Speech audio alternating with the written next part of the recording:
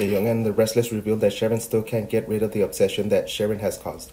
He ended his story on the TV series, and this is also due to Sharon. But it looks, but it took a while before that his name was really mentioned, because he is still the big obsession that makes Sharon's life more difficult in the long run. How long will it take for her to make things better? Fans may recall that Sharon stabbed Cameron with a knife as he tried to find a way to kill her. Fortunately, Nick had foreseen this to protect her. Sharon will also relieve that her most dangerous enemy was also dead, but perhaps she was too subjective before everything here. Here, she will run into new troubles, which may involve Cameron's personal lawyer. Perhaps this is, that this has to do with in, um, litigation it can it, it can be known that Cameron is a rich man with a lot of assets. So when it, so when he dies, who will everything belong to? So it's possible that Cameron's attorney contacted her about the matter. Sharon will surely be amazed at what she will get out or not.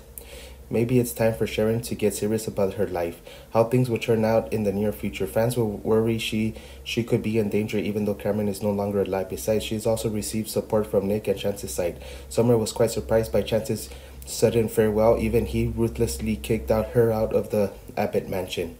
Kyle doesn't want to forgive Summer's lies that put his mother's Diane in jail for what she did. Kyle wondered if he didn't, if he hadn't found out, Summer would have kept it a secret until now.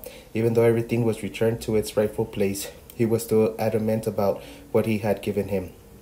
Summer feels frustrated at what he's doing and wonders what they've been trying all this time for. But on this side of Kyle still went to the jazz club to drink and see Audra more than ever. Kyle re- love, really loves Summer, but he just can't forgive her, so he was also powerless to make this choice. Audra also took advantage of this to help the mood improve. Perhaps Kyle is too risky with that he is choosing. Please take the time to follow the latest developments surrounding the drama.